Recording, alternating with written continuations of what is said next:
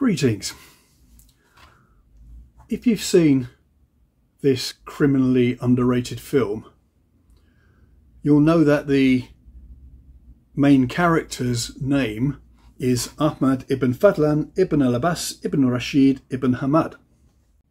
And he was actually a historical character. In the year of our Lord 921, he was sent by the Abbasid Caliph al-Muqtadir of Baghdad as part of an embassy to the Volga Bulgars in what is now, is it Russia or the Ukraine? Not quite sure. And while he was there, he met up with the Rus, who were basically Vikings who had come down there and were trading there and were settling there.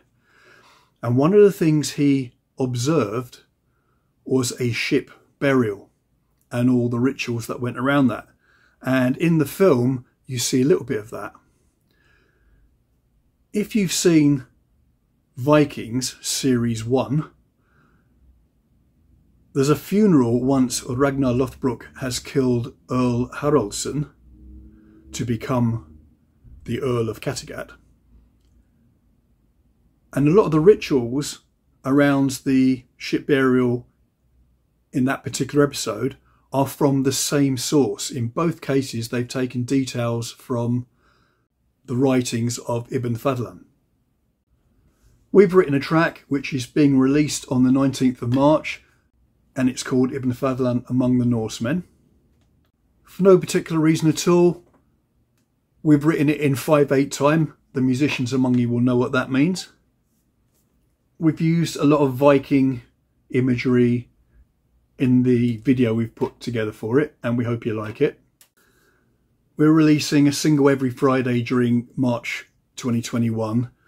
Then I think we're going to take, uh, I don't know, a couple of weeks out because um, we're already working on an album, EP stroke album uh, to follow that up. We would love it if you would subscribe to our YouTube channel and follow us on places like Instagram and Twitter, any social media that you use. There's a fair chance we're actually on it.